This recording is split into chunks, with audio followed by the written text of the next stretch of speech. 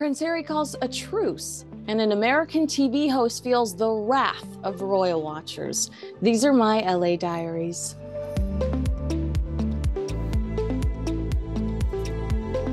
Page six has a write up that has caught royal watchers' attention. In an article titled Joy Behar Slams Queen Elizabeth After King Charles's Cancer Diagnosis, The Poor Guy, the New York Post sibling site spotlights the 81 year old View host's nasty reaction to King Charles's cancer diagnosis. Joy told her castmates and studio audience, I mean, Queen Elizabeth was in the position for 70 years, you know, and the longest reign. I think she could have used some term limits. She asked, why not step down and let Charles have his day in the sun? The poor guy, he finally gets to be king and now he has an illness. That doesn't seem fair. There's something wrong about it.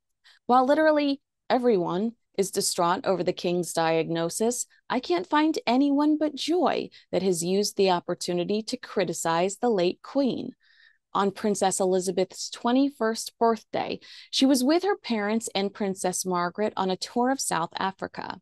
In a speech broadcast from Cape Town, the young princess dedicated her life to the service of the Commonwealth by saying, I declare before you all that my whole life, whether it be long or short, shall be devoted to your service and the service of our great imperial family to which we all belong.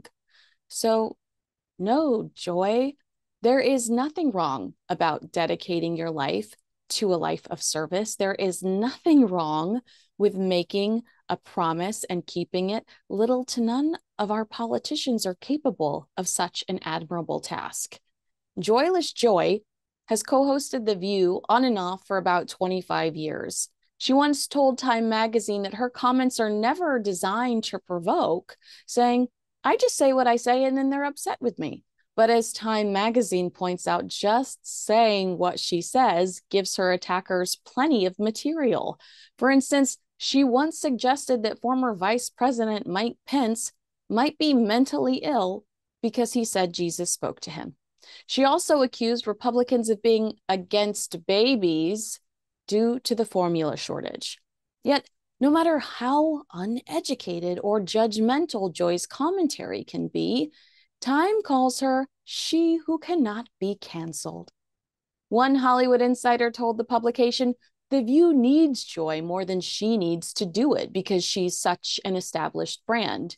She has been a fixture on American daytime television almost as long as Regis Philbin or Oprah Winfrey.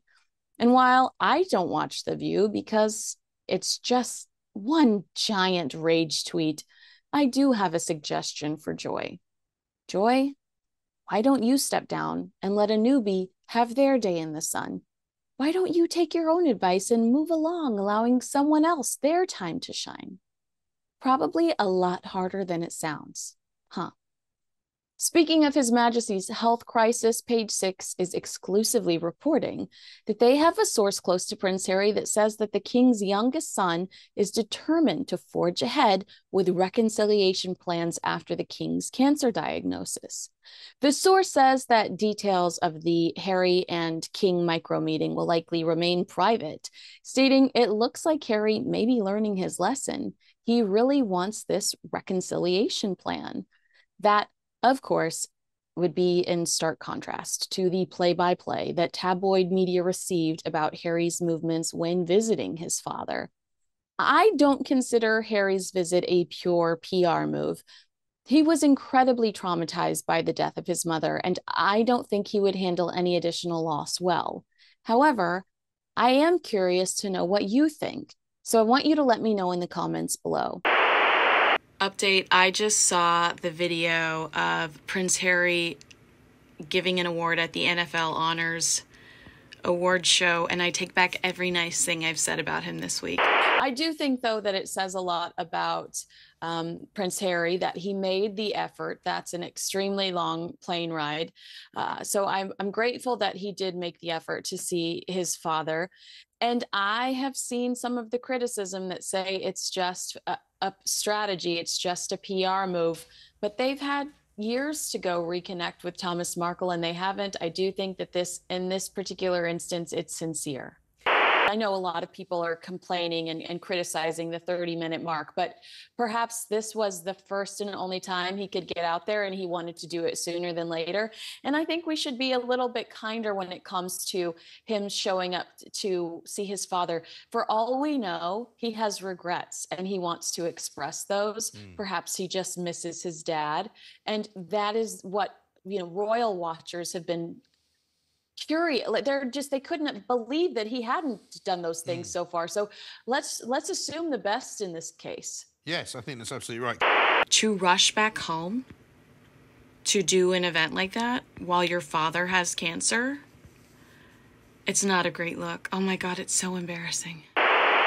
With rumors of no reconciliation on the horizon for the battling brothers, an old quote of Prince William's is currently trending on TikTok.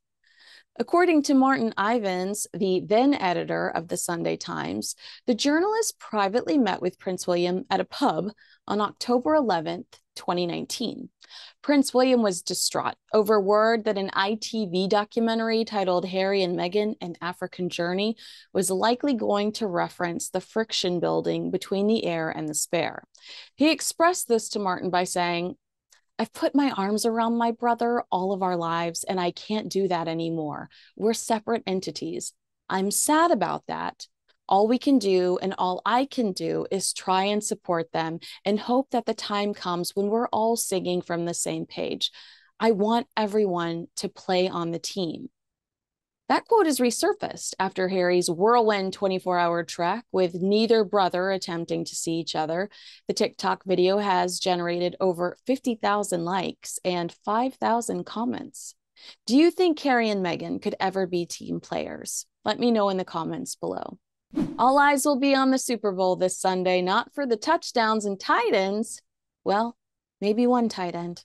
Everyone is asking poor Travis Kelce of the Kansas City Chiefs if he plans to propose to his girlfriend of like 13 football games, Taylor Swift. While it would be the ultimate romantic gesture, and I mean, come on, that's good TV, it also feels like the grossest commercial opportunity humanly possible. During a press conference in Las Vegas ahead of Travis's game against the San Francisco 49ers, a crass reporter asked the Kelce brother if the Super Bowl ring is the only one he had on his mind this weekend. They said, Is there going to be another ring besides the Super Bowl ring if you win on Sunday? Travis keenly replied, I'm focused on getting this ring, and that's all my mind's focused on right now. I think he'll privately propose to the singer one day with a friendship bracelet. I mean, that makes my heart fall into my butt. But until then, I'm having a blast living vicariously through this love story. Baby, just say touchdown. Did you like this video? Make sure you give it a thumbs up, have your say in the comments, share, and follow Talk TV on YouTube. Thanks for watching. I'm Kinsey Schofield.